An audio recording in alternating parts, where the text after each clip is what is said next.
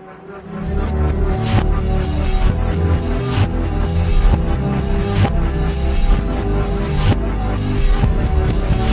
guys and welcome to another episode of Among the Stars Celebrity Perfume Reviews. So today I'm extremely happy to be bringing you guys my personal review of Viva La Juicy Rosé. So this perfume was launched last year and is another one of the spin-offs to Viva La Juicy's, or Juicy Couture's Viva La Juicy. Um, I actually got this perfume as a gift from one of my really, really good friends, Lizzie Shreds. I'll put a link to her YouTube channel down below. I love Lizzie. She's awesome. She does really, really good reviews. Definitely someone to go check out. Um, sometimes she's better at getting reviews out faster than I am. So definitely go check out her channel. And thank you again to her for her getting me this. Um, Viva La Juicy Rosé's box looks like this. And it says Viva La Juicy Rosé. Viva La Juicy is here in kind of a rose gold color. The words Rosé down here kind of written across. Um, it kind of fades from like a light pink down to almost like a, or a brighter pink down to almost a more pale pink. And then up here is kind of in like a glittery iridescent color. Um, so it's Juicy Couture on both sides. It just kind of got that glittery top with the filigree. And then the bottom's just the barcode. The bottle looks like this. Um, and it's kind of a pinkish, uh, glittery up here and then it fades down into a gold. It's got that signature Juicy Couture logo on the front with a cute little bottle of champagne with, I don't know if you guys can see this, see if I can get my camera to focus close enough on it. We'll take the lid off. But in the bottle, there actually is some cute little diamonds in there. And then the bow is kind of a sheer pink one, kind of like how gold was the year before where it was black. This one's kind of a sheer pink color.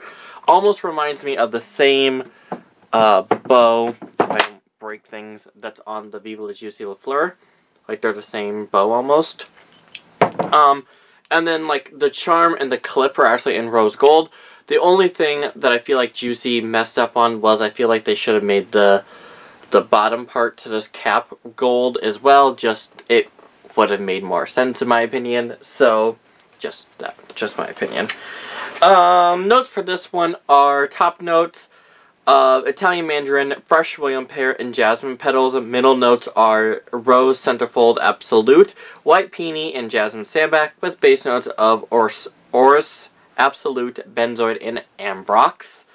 Um, this perfume is based around the party girl and is supposed to be representational of um, rosé champagne. So definitely, um, when you first spray it, I get the florally notes, um, but I definitely feel like the rose is the standout note of this fragrance, um, which is weird. I get why they called it Viva La Juicy Rosé, because it's supposed to be like a rosé champagne, but I feel like it should have just been Viva La Juicy Rose. Um, I get kind of that. I get the pear, I get the mandarin, but it's very light. It's overtaken by that uh, the rose floral in the middle. As you get down, definitely, like I said, that rose is really powerful, really out there. If you don't like rose fragrances, you will not like this. Do not blind buy it because you will be greatly disappointed. Um, Jasmine Sambac and the peony petals are in there. I can smell them, but like I said, that rose is definitely the standout prominent note of this fragrance. As it dries down, you got the, the Ambrox, you've got the Orris, and you've got, what was the last note in here? I'm totally missing something. Benzoid. So, it dries down, you get the Orris and you get the uh, Benzoid to kind of provide a warm sweetness to the base, but it's still very, very rosy, very um, floral all the Viva La Juicy fragrances are known for being that kind of sticky, sweet, warm, uh, caramely kind of note. Even the Viva La Juicy La Fleur, which is like a floral fragrance, this is still sweet, and this is, I mean, this is still my go-to for Viva La Juicy. Definitely my favorite Viva um, spin-off. But this one is really, really floral, uh, a little more mature than the other ones are. I feel like it's almost more of a spin-off to the original Juicy Couture or Couture La La spin-off than it is a spin-off to Viva La Juicy. I feel like if they would have thrown in like a toffee note, a berry note, and like a vanilla, it would have been more of a of a Viva spinoff than it is of like an original Juicy spinoff.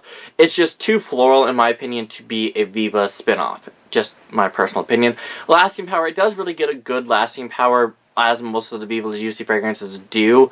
Um, lasts about 8 hours on me. I do get complimented on this fragrance, but not as much as I do on like the Viva La Juicy La Fleur or like the original Viva La Juicy. Um, definitely kind of a more spring and summertime fragrance as it is um, that like I said it's very floral so it definitely fits its way into the spring and summer and for me kind of reminds me of Easter I'm not too sure why maybe because that's like more like the springtime when you're getting the florals kind of coming out that's what it makes me think of personally so there is my personal review of Viva La Juicy Rosé. As always, guys, thanks so, so much for watching. Follow me on Twitter, Ava S Perfume, and Instagram, Among the Stars Perfume. Links are in the description as below. And wow, I just messed that up. Anyway, have a great day, guys. Bye.